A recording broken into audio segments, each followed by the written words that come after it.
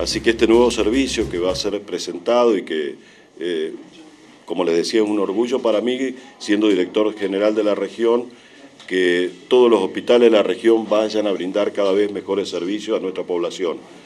Aquí está el director del Hospital Chestacó, la gerente asistencial, quien van a explicarle eh, para que todos lo entiendan cómo va a ser este nuevo servicio de turnos telefónicos que va a brindar el hospital, eh, para que hagan uso de lo mejor posible de, este nuevo servicio y también eh, gracias a todo lo que se está anunciando de refuncionalización, de la nueva obra pronto a iniciar del hospital, eh, algunos cambios que estaban ocurriendo en la reubicación seguramente de los servicios del Hospital Chetacó.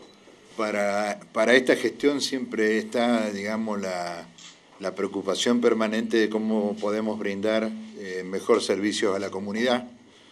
era realmente una, una cosa que ya veníamos trabajando desde hace tiempo, que no queríamos que la gente viniera tan temprano a solicitar turnos al hospital. ¿eh? Hay gente, y sobre todo la gente de los distritos, que tenía que venir a las 4, las 5 de la mañana para gestionar un turno de una especialidad. Lo que armamos es una gestión de, turnos telefónicos para que la población pueda, en horarios por ahora, todo se puede ir mejorando, perfeccionando, de 9 a 12 a los teléfonos que figuran en, digamos que ya los hemos difundido, para que puedan sacar turnos para las especialidades. Pueden hacerlo de cualquier lado, pueden hacerlo de los distritos.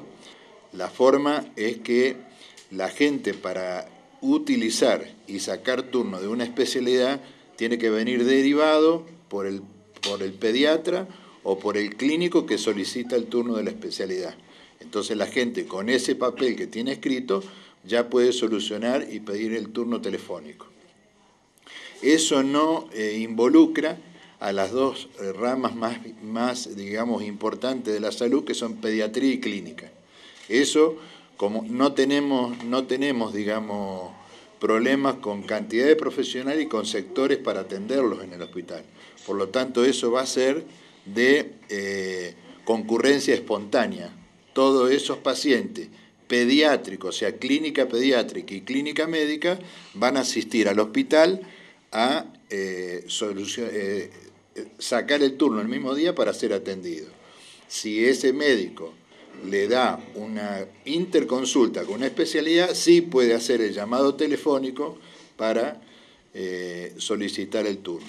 Es una cosa muy importante que la población esté, digamos, satisfecha con los servicios del hospital, pero asimismo eh, queremos que eh, la dirección está permanentemente a, la espera de sugerencias para, si es necesario, mejorar el sistema. De cualquier forma, esto no cambia la estructura y relación del hospital con los centros de salud. O sea, si en los centros de salud, que hay subespecialidades también, se tienen que atender en los centros de, salud. Si es, vamos a suponer, una consulta cardiológica, ¿sí?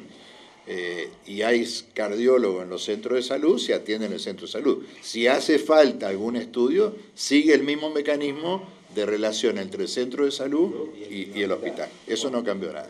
¿eh?